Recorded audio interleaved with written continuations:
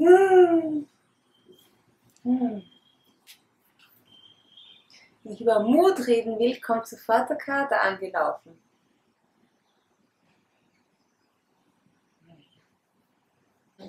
Eigentlich wollte ich sagen, Mut tut gut. Mut tut gut. Und warum das mit Selbstliebe zu tun hat, erzähle ich dir in dieser Episode.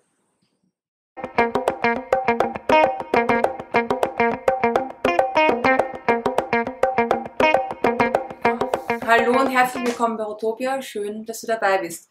Ja, Mut und Selbstliebe, wie haben die bitte miteinander zu tun?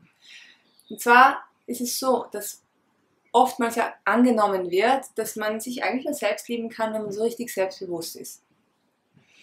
Wer selbstbewusst durchs Leben geht, dann kann man sich auch selber lieben, weil dann findet man sich ja auch so toll. Ähm, aber vor dem Selbstbewusstsein kommt erstmal Mut. Zum Beispiel der Mut, sich mit dir auseinanderzusetzen. Und wenn du diesen Mut hast, dann kommt dadurch das Selbstbewusstsein.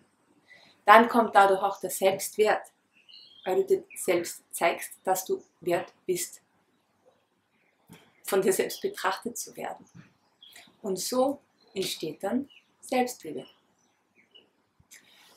Was du sonst noch machen kannst, ist, dass du einfach Dinge ausprobierst, vor denen du Angst hast. Das heißt nicht, dass du jetzt etwas hernehmen musst, vor dem du furchtbar Angst hast, das extrem gefährlich ist und du das in der wildesten aller Variationen ausprobierst, sondern das heißt, dass du kleine Schritte machst in Richtung dorthin, wo du dich fürchtest. Zum Beispiel habe ich mit 18 den Motorradführerschein gemacht, um dann nie wieder Motorrad oder Roller oder Mofa oder irgendwas Zweirädriges mit Motor zu fahren. Rad schon, Fahrrad ja, Auto ja, Roller nein.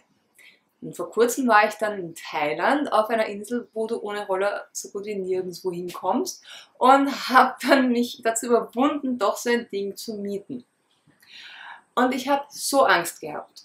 Ich habe Angst gehabt, dass ich ausschaue wie der letzte Depp, dass ich einen Unfall habe, dass ich das Ding kaputt mache. Also alles, was passieren kann, ist durch meinen Kopf durchgegangen. Aber mir war es wichtiger, dass ich doch noch von A nach B und zurückkomme und ähm, nicht nur auf einem Punkt sitze. Und daher habe ich mich überwunden und äh, angefangen, Roller zu fahren. Und zuerst haben mich tatsächlich auch äh, Radfahrer überholt. Aber ich bin trotzdem weitergefahren, so langsam es auch war. Bin mir ziemlich blöd vorgekommen in solchen Momenten, aber bin weitergefahren. Und dann kam der erste Hügel und rauffahren ist ja kein Problem. Nur irgendwann bin ich draufgekommen, äh, da muss ich jetzt wieder runterfahren und dann ist die Panik angestiegen. Und ich bin so langsam, da wäre ich zu Fuß wahrscheinlich schneller gewesen, runtergefahren. Und haben mir die ganze Zeit gesagt, du machst das so gut, ich bin so stolz auf dich. Du bist so mutig, du machst das super. Und dann war ich auch so stolz auf mich. Ich habe mich so gefreut. Und genauso wird es dir gehen, wenn du was probierst, vor dem du Angst hast. Und du bekommst dann so einen Endorphin, Adrenalin-Rausch, wenn du das gemacht hast, vor dem du dich gefürchtet hast, dass du es möglicherweise gleich nochmal machen willst. Und dann hast du gar nicht mehr so viel Mut, aber schon mehr Selbstbewusstsein. Und dadurch bekommst du mehr Selbstwert. Und dadurch steigt deine Selbstliebe. Der zweite Punkt ist, falls du dann etwas doch nicht tust, mach dich deswegen nicht fertig. Überleg stattdessen lieber, was deine Werte sind. Vielleicht ist dir was anderes einfach wichtiger. So steigt dann dein Selbstwert und im Endeffekt auch wieder deine Selbstliebe. Wenn du dann also deine Mutproben gemacht hast und bei anderen Dingen den Wert erkannt hast, der dir stattdessen wichtiger ist, dann lass den Rest los. Und erinnere dich daran, dass du nicht deine Gedanken bist. Du bist nicht diese Stimme im Kopf, die dir sagt, du Loser, du, du hast dich ja nicht mal getraut, Roller zu fahren. Oder, haha, schau dich mal an, wie der letzte Depp. Oder, du bist es nicht wert. Du bist nicht geliebt. Du wirst nie geliebt werden und überhaupt und so fort. Mir fallen jetzt gar nicht mehr Sachen ein. Ich bin so in meiner Selbstliebe. Ich habe schon so lange nicht zugehört. Ich weiß nicht, was der so sagt. Doch, ich weiß es ja wohl.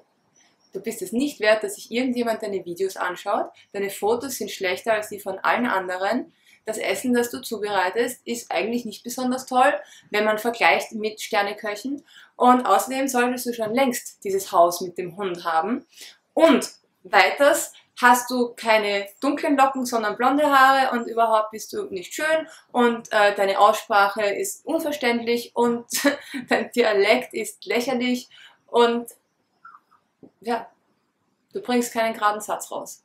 Eigentlich kannst du das Ganze gleich abbrechen. Und diese Stimme bist nicht du. Das ist ganz hinten drinnen ein kleines Arschloch, das versucht, dich fertig zu machen. Und dieses Arschloch möchtest du doch bitte nicht gewinnen lassen. Also, hör auf das, was sich gut anfühlt. Und wenn du Angst hast, dass du dann dich auf diesem Gutfühlpolster ausruhst und nur noch zu einem faulen Sack wirst, glaub mir, das wirst du nicht. Wir motivieren uns viel besser, indem wir uns loben, indem wir lieb zu uns sind. Genauso wie bei kleinen Kindern. Das habe ich schon in einem anderen Video gesagt. Sei lieb zu dir und du wirst weiterkommen, als du sie gedacht hast. Ich hoffe, diese Episode hat dir gefallen, dich weitergebracht, dich vielleicht auch unterhalten.